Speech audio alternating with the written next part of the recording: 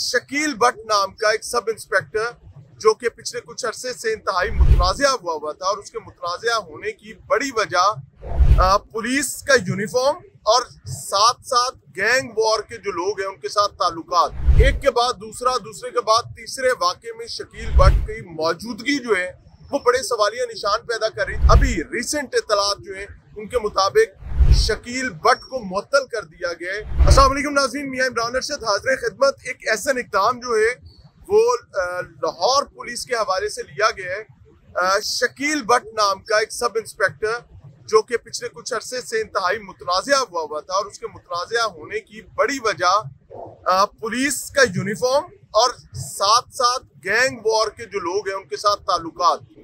और उसके बाद एक के बाद दूसरा, दूसरे के बाद तीसरे वाक्य में शकील भट्ट की मौजूदगी जो है, वो बड़े सवालिया निशान पैदा कर रही थी और हम लोगों ने भी इस पर बार बार बात की बिकॉज़ हमारे लिए पुलिस की ऑर्गेनाइज क्राइम यूनिट की साख किसी भी इंडिविजुअल से ज़्यादा इम्पोर्टेंट थी। और एक असूली फैसला करते हुए अभी रिसेंट इतलात जो है, उनके मुताबिक शकील भट्ट को मुअत्तल कर दिया गया शकील भट्ट में सिर्फ़ एक सब इंस्पेक्टर था लेकिन अख्तियार और उन अख्तियार को प्रैक्टिस करने के हवाले से अगर बात की जाए तो वो कतई एक सब इंस्पेक्टर की ताकत नहीं थी। सो इम्पोर्टेंट चीज़ ये कि शकील भट्ट के करेक्टर की वजह से मुझे नहीं पता, वो बेगुनाह होगा। अगर बेगुनाह होगा तो चीज़ें डिफरेंट एंगल से चल सकती हैं।